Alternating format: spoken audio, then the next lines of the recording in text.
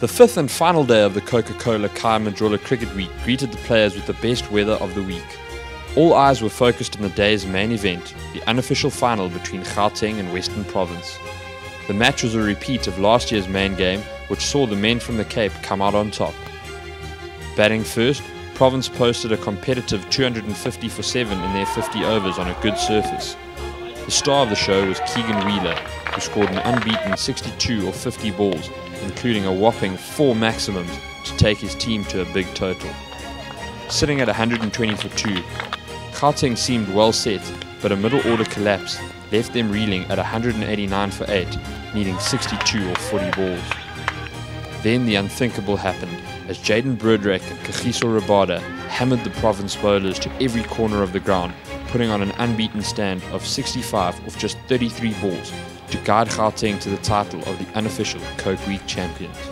These guys have been rivals for a really long time and it's, it's really good to finally win Coke Week and have this trophy back in Johannesburg. Um, the guys played superbly well and I'm just really chuffed we could bring it home and show that fighting spirit. Following all the excitement, it was time to move on to the award ceremony, where the SA Schools 11 for 2013 would be formally unveiled. The glitz and glamour of the affair was Hollywood-esque, as all the boys waited patiently to hear if their name would be read out to receive the honour of an SA Schools cap. The first name read out was that of 2013 captain of the team, Yaseen Vallie.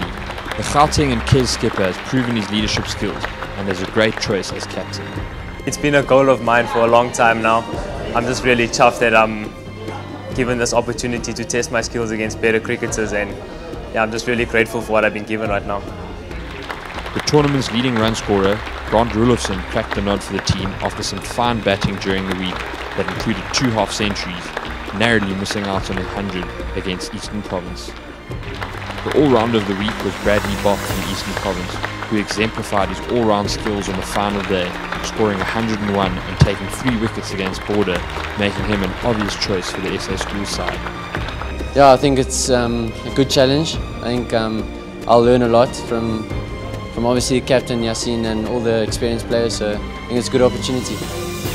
The SA Schools team also includes wicketkeeper batsman Clyde Fortuin, who will be the team's gloveman for the second year in a row.